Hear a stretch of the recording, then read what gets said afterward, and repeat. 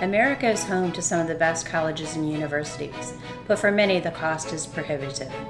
The cost for an average tuition at a four year university is $10,000, and room and board is an additional $10,000 a year. Financial obstacles that American students face today are grave.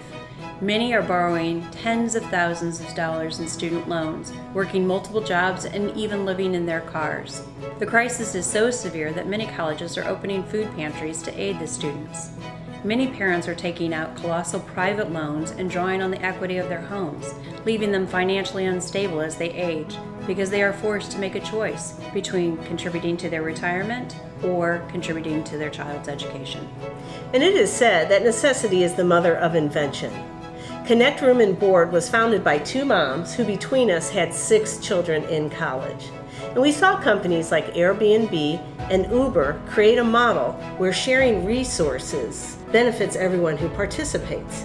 And the public has embraced this idea. Connect Room and Board is applying this model for student and intern housing.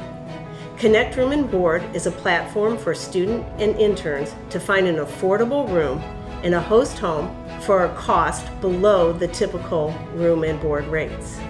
Students and hosts apply on our website, complete a background check, and once approved, profiles are uploaded to our service for matching. Businesses have also shown enthusiasm for our service as it provides affordable, short term housing for talented interns relocating from other parts of the country.